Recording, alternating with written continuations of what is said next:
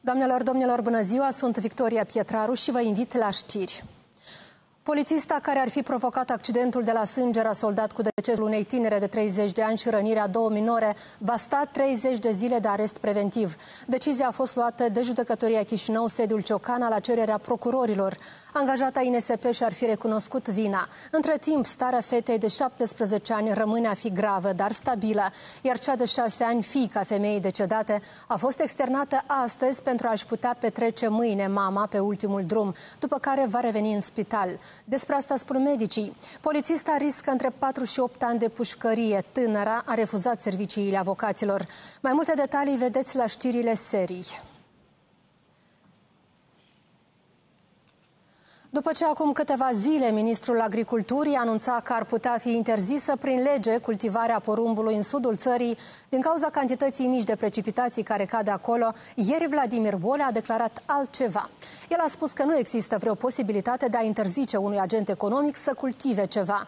Totuși, demnitarul a precizat că se va veni cu recomandări pentru fermieri în funcție de zona în care activează și specificul acesteia, iar măsurile se vor reflecta ulterior în politicile de subvenționare.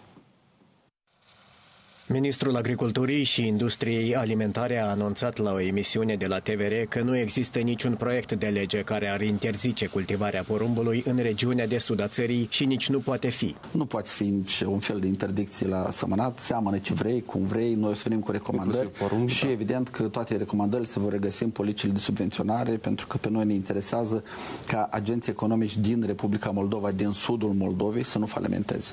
Da. Deci dacă tu pui porumb și tu ai 3 tone, 4 tone și, spre exemplu, în Nisporeni, în 2022, cu sistem de irigare, a avut 17 tone de boabe. Păi cum te poți compara cu el? Și tu nivelul de cheltuieli sunt aceleași. Da.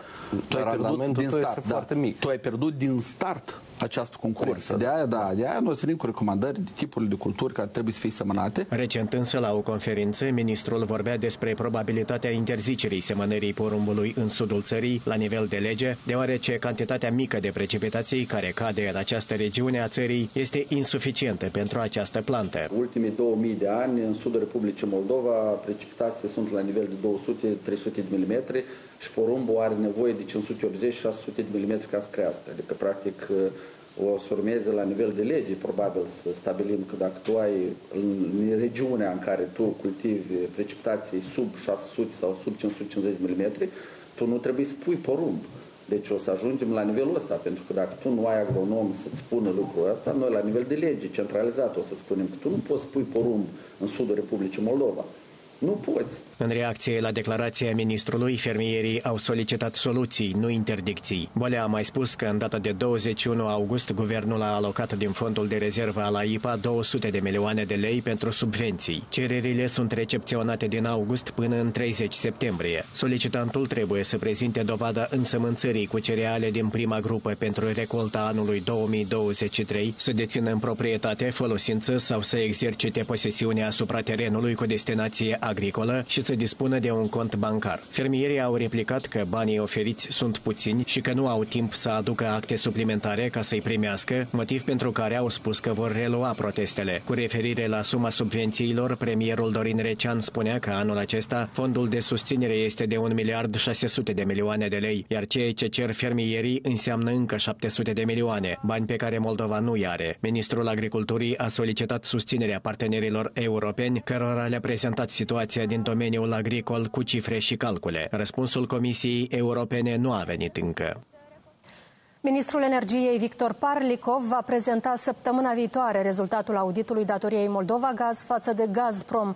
Tot atunci vor fi prezentate documentele relevante în acest sens. Despre asta a anunțat astăzi purtătorul de cuvânt al guvernului, Daniel Vodă. Ministerul Energiei a anunțat marți, 29 august, că în ziua următoare Victor Parlicov va susține un briefing de presă cu tema rezultatele auditului datoriilor istorice ale Moldova Gaz și acțiunile guvernului pentru protejarea consumatorilor de gaz. Spre seară, însă, reprezentanții instituției au spus presei că declarațiile au fost amânate, iar guvernul a anunțat miercuri că acestea vor fi făcute deja săptămâna viitoare. Anunțăm despre organizarea unui eveniment de presă săptămâna viitoare despre rezultatul auditului datoriilor istorice ale Moldova Gaz și acțiunile guvernului pentru protejarea consumatorului de gaz.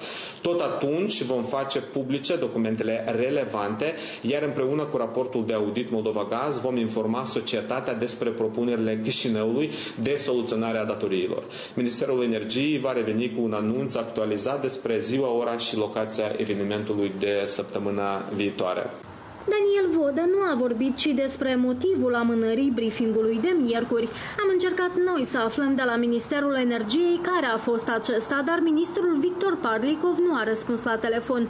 Nu am putut obține o reacție nici de la șeful Moldova Gaz, deoarece Vadim Ceban avea telefonul deconectat. La mijlocul lunii august, în cadrul emisiunii Rezumat de la Realitatea Live, Victor Parlikov a anunțat că auditul datoriei Moldova Gaz față de Gazprom a fost finalizat și va fi trans transmis Gazpromului cu un proiect de propunere alternative de soluționare a problemei acestor restanțe, pentru că, așa cum spunea ministrul, cel puțin o parte a datoriilor nu trebuie achitată de consumatori. Potrivit ministrului, verificările au arătat că o parte a datoriilor nu sunt confirmate cu documente, iar altele se referă la costurile suplimentare admise de Moldova Gaz, care, nefiind incluse în tarife, au dus la majorarea datoriei față de Gazprom. Întrebat dacă datoria de 700 de milioane de dolari estimată de Gazprom este reală sau exagerată, Parlikov a menționat doar că auditul a arătat concluzii interesante. Verificările au fost efectuate de o companie norvegiană și de una britanică, iar pentru serviciile lor, statul urma să achite 800 de mii de euro. Potrivit unui audit paralel al Curții de Conturi, datoria Moldova Gaz față de Gazprom la 31 decembrie 2021 se ridica la 500 290 de milioane de dolari, iar cea mai mare parte a restanței s-a format în perioada anilor 2011-2015. Asociația Forța Fermierilor a ieșit din nou la protest. De această dată, agricultorii au pichetat sediul Ministerului Agriculturii și pe cel al Agenției pentru Intervenții și Plăți în Agricultură, fiind nemulțumiți de faptul că o circulară a ministrului Vladimir Bolea îi obligă să prezinte un set de acte suplimentare pentru a obține compensații. Fermierii susțin că le este greu să adune toate documentele solicitate de autorități, având în vedere că procesul de recoltare este întoi. În acest context, ei au solicitat anularea noii proceduri de depunere a actelor și obligativitatea de a prezenta dovada că dețin sau folosesc terenuri agricole pentru care se acordă subvenții. Se cere extrasul pentru fiecare parcelă. Uh, sunt agricultori care au 100 de hectare de greu, au câteva mii de parcele, terenurile la noi parcelizate, parcelate, uh, Doamne ferește, sunt cei care au câte șapte ani acolo. Și atât agricultorul trebuie să iei câteva, câteva mii de extrase, cu indicarea proprietarului, numele, prenumele, uh, termenul de arendă, cu un teanc de hârtie, cu riscul că o să fie multe greșeli, cu o parte de acolo care au decidat și moștenitorii nu au făcut moștenirea și să vină la IPA cu acest teanc de hârtie pentru a primi aceste compensații. Nu în toate primăriile sunt uh, ingineri cadastrali și nu pot să uh, perfecteze aceste acte cu toate numerele cadastrale. Trebuiește o birocrație extraordinară care ne pune în situație să, să nu putem accesa aceste ajutoare. Noi am ajuns în asemenea situație când nu putem să acoperim cheltuielile, nu să facem profit, nu să facem agricultură performantă. De cealaltă parte, Ministerul Agriculturii declară că prezentarea actelor ce justifică proprietatea sau folosința terenurilor agricole este o prevedere legitimă, inclusă anterior și pentru alte măsuri de subvenționare, iar această cerință derivă din deciziile Curții de Conturi, în urma unor verificări privind acordarea compensațiilor și ajutorului umanitar agricultorilor afectați de calamitățile naturale asupra recoltei anului 2020. Deci nu s-a cerut nimic în plus față de toate documentele care în mod normal se cereau pentru subvenționare. Să fie foarte clar, sunt banii poporului, sunt bani publici și evidența contabilă și evidența documentală și documentele sine sunt obligatoriu pentru a fi controlate. În plus, a declarat ministrul, cu ani în urmă au fost cazuri când pentru a beneficia de ajutor erau aduse acte false și, prin urmare, măsurile de verificare aplicate de AIPA și care au caracter obligatoriu vor îmbunătăți cadrul legal și vor aduce echitate și claritate în luarea deciziilor. Purtătorul de cuvânt al Ministerului Agriculturii ne-a spus că timp de câteva zile la AIPA au fost deja recepționate peste 100 de cereri de ajutor. Amintim că luni ministrul Vladimir Bole a declarat că pentru a beneficia de compensații pentru care statul a alocat 200 de milioane de lei, solicitanții trebuie să facă dovada însemânțării cu cereale din prima grupă pentru recolta anului curent, să dețină în proprietate, folosință sau să exercite posesiunea asupra terenului cu destinație agricolă și să dispună de un cont bancar.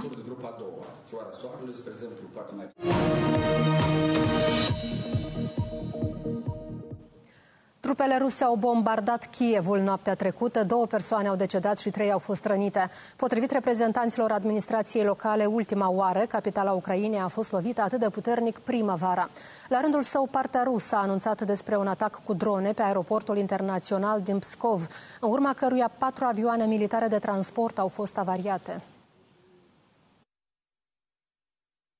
În noaptea de 30 august, trupele ruse au atacat capitala Ucrainei cu rachete și drone kamikaze. Ultima oară, Kievul a fost lovit atât de puternic primăvara, a scris Serhii Popko, șeful administrației militare a orașului pe rețelele de socializare. Mai întâi, capitala a fost atacată din diferite direcții de drone, după care de rachetele lansate din aer. 20 dintre acestea, potrivit lui Popko, au fost doborâte de sistemele de apărare aeriană. Bucățile căzute în raionul Darnița din Kiev au provocat un incendiu pe acoperișul centrului comercial Oșan, dar potrivit Serviciului de Stat de Urgență al Ucrainei, focul a fost rapid localizat și lichidat. Potrivit informațiilor, fragmentele de rachete căzute au ucis și doi agenți de securitate ai întreprinderii. Alți trei au fost răniți, doi dintre ei au fost spitalizați. Ministerul rus al apărării nu a comentat deocamdată atacul asupra Kievului, dar de mai multe ori în cursul nopții instituția a raportat despre contracararea tentativelor părții ucrainene de a efectua un atac cu drone de tip aeronave asupra obiectelor de pe teritoriul teritoriul Federației Ruse. Potrivit ministerului, după miezul nopții, sistemele de apărare aeriană au doborât trei drone în regiunea Breansk, două în Riazan și câte una în regiunile Oriol, Kaluga și Moscova. Conform informațiilor, una dintre dronele doborâte a căzut pe uzina Kremni El, unul dintre cei mai mari producători de microelectronice din Rusia. Întreprinderea produce în special piese pentru sistemele de apărare aeriană Panzer și sistemele de rachete Iskander. Preventiv sunt înregistrate pagube, anunță canalul de Telegram Maș. De asemenea, potrivit părții ruse, noaptea trecută a fost lovit cu drone aeroportul internațional din Pskov. Potrivit diverselor surse, la atac au participat aproximativ 20 de drone. Canalul Telegram Maș, citând surse locale, a scris despre un incendiu puternic în zonă. Potrivit TAS, patru avioane Il-76 au fost avariate, două aeronave au fost cuprinse de flăcări, adaugă agenția. Menționăm că în condiții de război nu este posibilă verificarea operativă a informațiilor.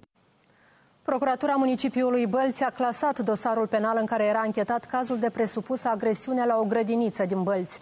Anchetatorul Leonid Gajim a motivat decizia prin faptul că nu există un bănuit și nici circumstanțele unei infracțiuni. Ordonanța cu explicație a fost expediată postului local Televiziunea Nordului, care precizează că scandalul a ieșit la iveală după probele și înregistrările audio adunate de părinți care au observat schimbări în comportamentul copiilor, mai ales atunci când erau lăsați cu dădaca și educatoarea.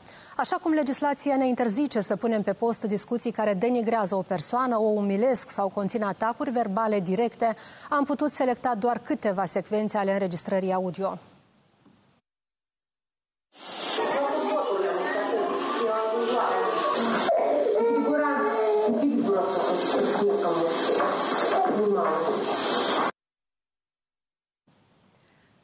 În ordonanța prin care a fost clasată ancheta penală se mai spune că în urma evaluării psihologice la care au fost supuși micuții nu au fost identificați indicatori specifici copiilor victime ale abuzului. Nu s-a putut înțelege dacă a fost comis o infracțiune din cauza vârstei mici pe care o au aceștia, menționează documentul. Tot acolo, în continuare, scrie că o echipă multidisciplinară a stabilit că starea de bine a copiilor nu a fost afectată. Între timp, conducerea Direcției de Învățământ din cadrul primăriei Bălți a eliberat din funcție de DACA. Educatoarea însă continuă să activeze în aceeași grupă.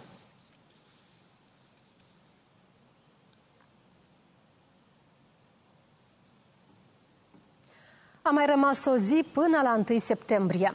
Pentru părinții care îi pregătesc pe copii pentru noul an școlar, perioada este destul de intensă, așa cum au o listă lungă de achiziții de la haine pentru școală, inclusiv de gală, la articole de papetărie, caiete și rucsacuri. În acest scop, în capital au fost deschise târguri specializate. Însă părinții pe care i-am întâlnit se plâng că, în comparație cu anul trecut, produsele căutate s-au scumpit considerabil. Unii dintre ei care trebuie să pregătească trei copii pentru școală spun că suma cheltuită pe rechizite și îmbrăcăminte depășește 5.000 de lei. Думаю, что эти Părinții notează că pentru un elev de clasa 1 cheltuielile sunt mai mari, deoarece pe lângă rechizite și uniformă școlară trebuie să cumpere și un smartphone sau o tabletă.